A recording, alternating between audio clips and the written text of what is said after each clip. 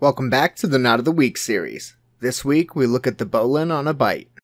This is also known as the bowline in a or upon a bight, or on, in, or upon the bight. Start by creating a bight somewhere in the middle of your rope.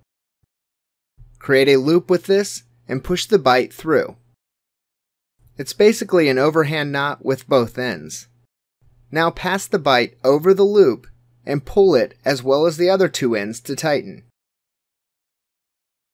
We have previously shown where this can be used to create the loop portion of the trucker's hitch.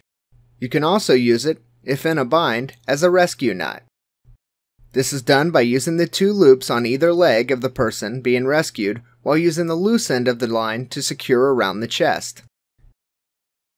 Each of the two loops can be pulled in different directions as long as a similar load is distributed to both of them.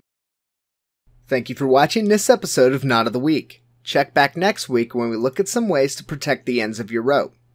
If you have any recommendations for future knots, please let us know in the comments below.